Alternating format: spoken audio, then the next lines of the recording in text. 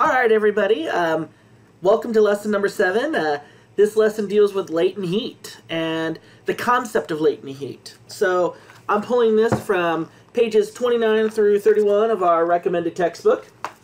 So, but if you don't have this, that's okay. I also have a handout that you can use to follow along.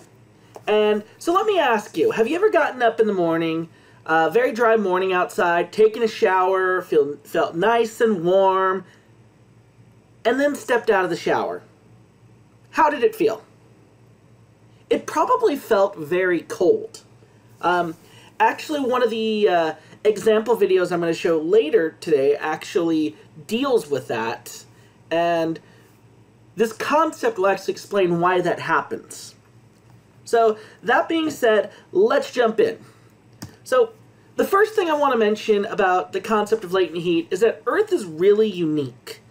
And the reason why it is, is at least as of our current understanding, Earth is the only planet in the solar system that has all three phases of water. I'm not going to talk about plasma here, so let's not get into that. But the other three phases, liquid, solid, and gas, all readily available on its surface and in its atmosphere. So that makes Earth really unique, and it's believed that that is what's considered crucial for sustaining life. So, Earth is the only planet where water exists in all three phases. And we see this in the terms of solid snow or hail or um, sleet or icebergs, um, liquid, obviously, the oceans. Um, and then in vapor, vapor, you can kind of see it evaporating as steam, but a lot of times it's invisible because it's actually in the atmosphere. It's actually a part of the air that you're breathing right now. So it's believed that it's believed that Earth is currently, at least as as of our current knowledge, the only planet in the solar system that has all three of these. And that's believed to be crucial for supporting life on Earth. So, um, water has three phases solid, liquid, and gas. And one of the interesting things about Earth, because of Earth's temperature range, water doesn't actually stay in any one of these individual phases.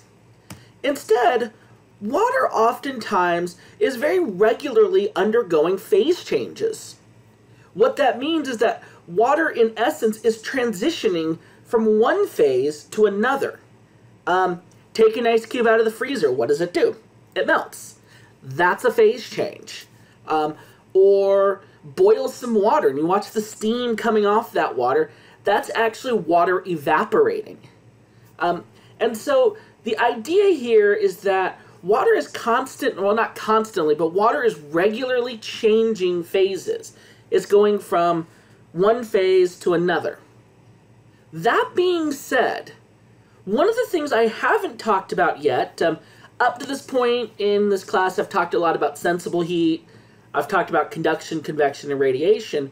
But one of the things I haven't mentioned yet is that in order for water to make that jump from one phase to another, it actually has to exchange heat with its surroundings. And the reason why this happens is when water is what we in what we call a lower state, a state of lower energy, such as ice, such as a solid, for to make that jump to liquid, something has to happen that sort of breaks the individual water molecules apart from one another.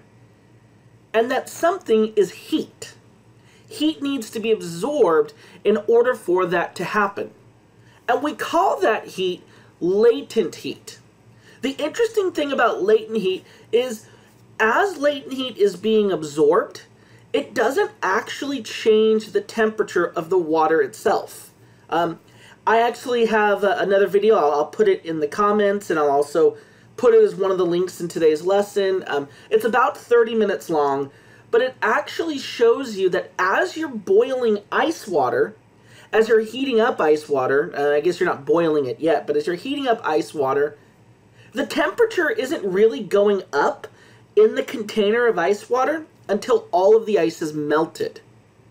And the reason why is because heat from the hot plate that is going into the water is instead melting the water. It's, it's melting the ice, changing it from solid to liquid.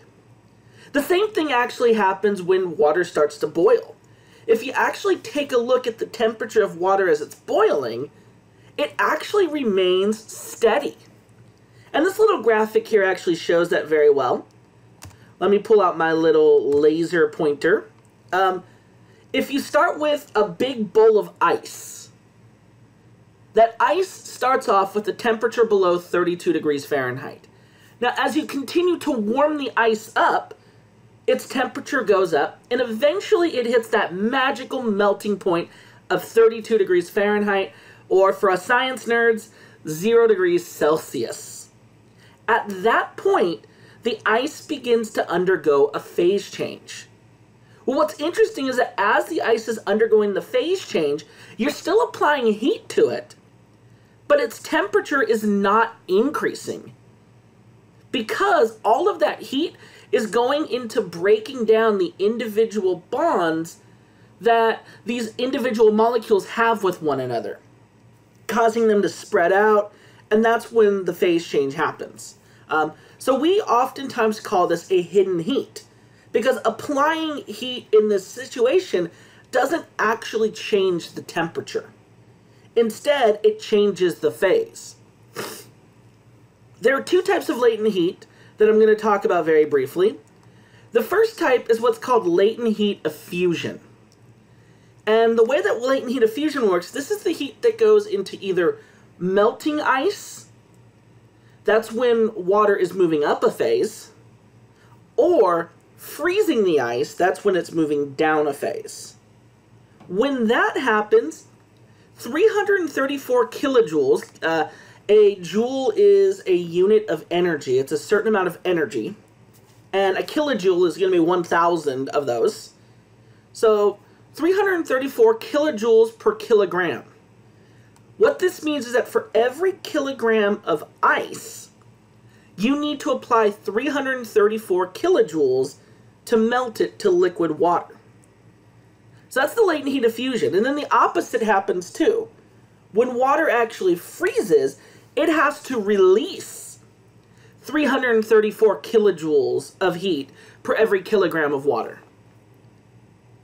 What's interesting, though, is the amount of heat needed for water to evaporate. This is what's called the latent heat of vaporization is actually about seven times greater at 2260 kilojoules per kilogram. So it takes much, much more heat to evaporate water than to melt it.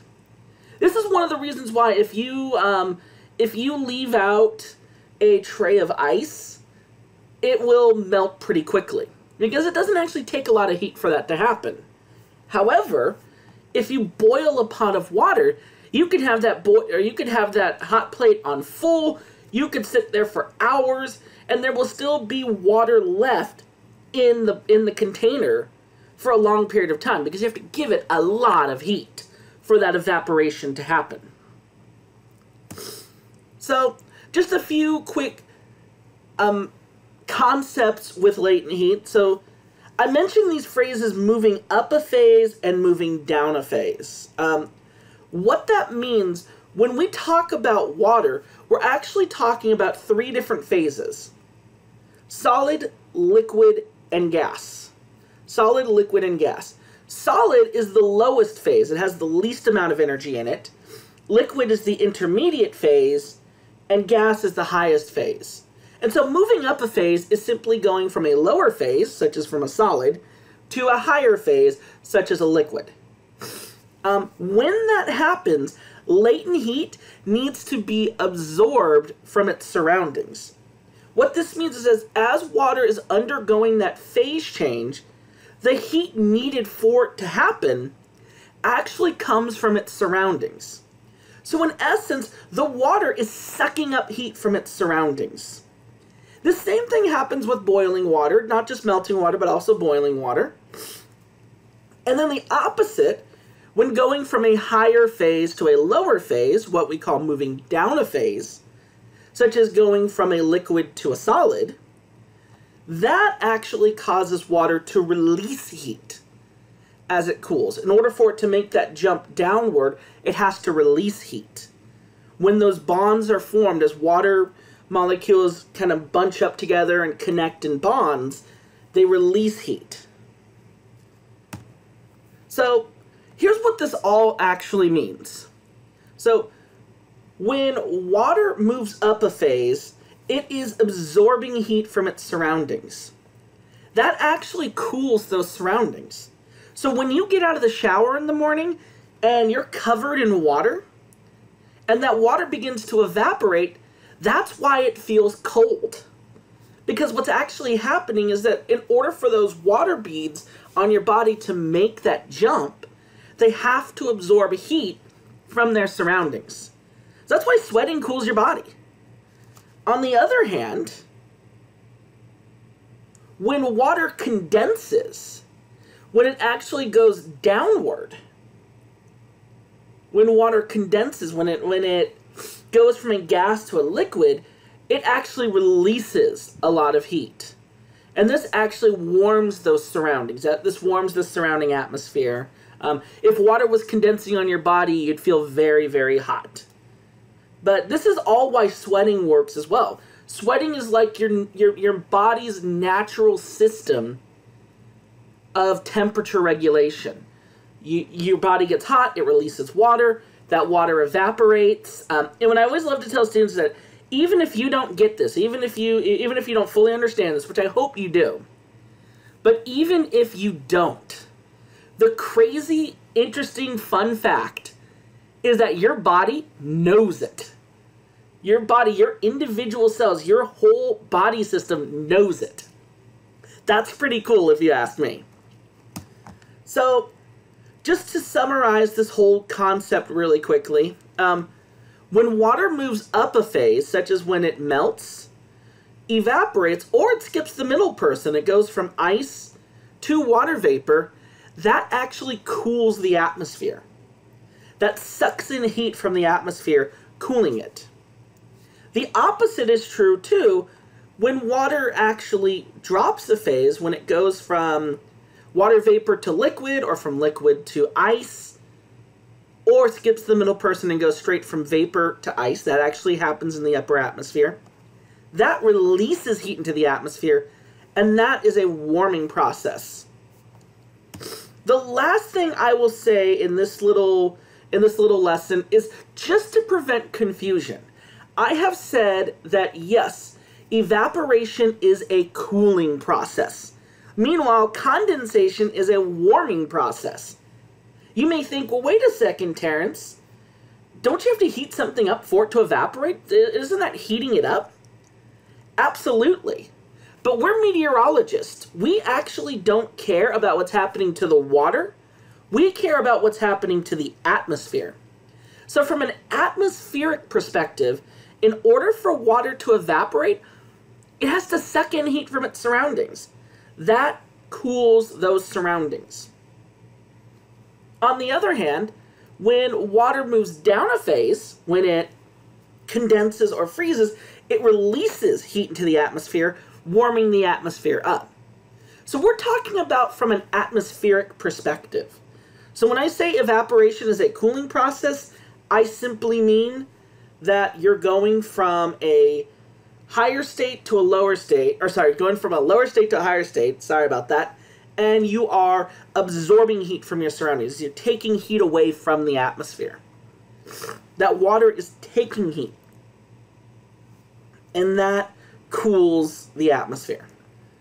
Whereas when it condenses, when it moves down a phase, it releases heat into the atmosphere. That warms the atmosphere.